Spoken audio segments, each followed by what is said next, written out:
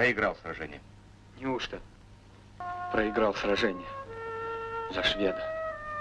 Не убивайся. Как швед проиграл, а как гешпанец, али турок, небось, выиграл, а? Неужто?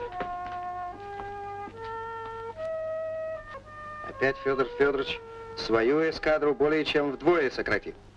А противника в полном числе оставил. Вот и потерпел поражение.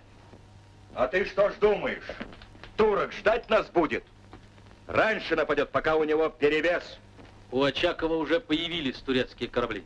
Лазутчики доносят, на флагмане офицеры британского адмиралтейства.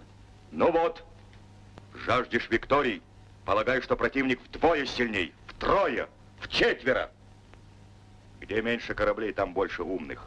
Он, Петр Великий, Ириншельдов парусный флот, галерами бил,